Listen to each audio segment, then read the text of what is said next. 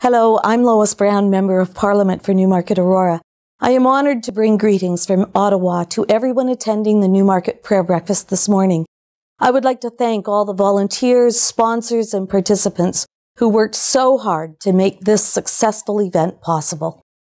Today is a Christian celebration of prayer for the community leaders serving Newmarket and its residents. By meeting together in the spirit of Jesus, you are supporting our community so that collectively we can all live under good governance and in peace. We pray that our community leaders will have the wisdom, courage, and compassion it takes to make decisions that will enable our residents to prosper. We can also use today's spiritual respite as a reminder to ourselves to give freely to our neighbor, our coworker, friend, or family member, a kind word or gesture without want of anything in return.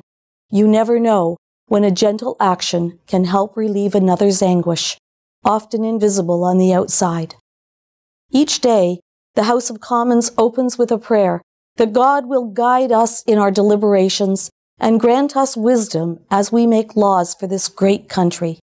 I join you as we pray for the leaders of our town, our province, and our country, that Canada will be a beacon of hope to the world and that we may know peace. Thank you, and God bless.